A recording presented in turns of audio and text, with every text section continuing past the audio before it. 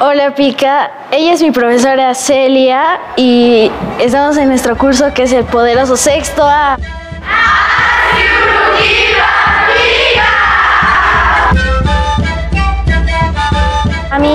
ha parecido muy interesante uh, una profesora que venga de Pollera eh, y que nos puede enseñar Aymara. Todos emocionados por pasar a Aymara. En todos estos años hemos hecho muchas cosas. Hemos aprendido a hablar Aymara, hemos aprendido a, a aprender los verbos. Bueno, no es lo mismo K que K, porque en el idioma Aymara no se dice K, se dice K.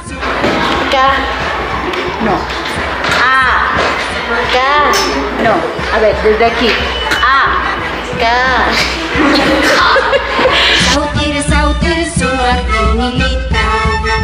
En el idioma aymara no existe ni la E ni la O para la escritura. Por ejemplo, aquí se escribe ujuña,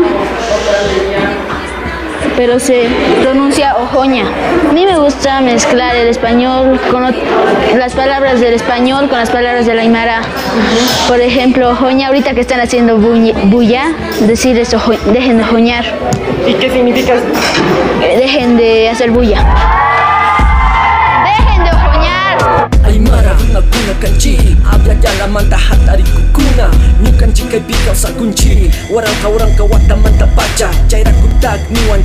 Trabajar con los niños para mí ha sido pues muy lindo, esa experiencia, eh, lo que yo tengo, lo que yo sé, eh, transmitir a ellos es muy lindo, compartir con ellos es eh, bastante agradable porque ellos se apropian rápido, aprenden rápido lo que enseñamos, ¿no?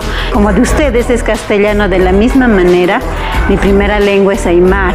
El Aymara nos sirve para hablar con diferentes personas que saben otros idiomas. Hemos aprendido muchas charlas y hemos hecho como una obra de teatro que teníamos que hacer entre diálogos y disfrazarnos para hacer mejor el personaje. Aski arumakipana. Aski arumakipana koyiri. Aski arumakipana aksagu jutama injamawa kaukirisa tihtama. Akiri usutu.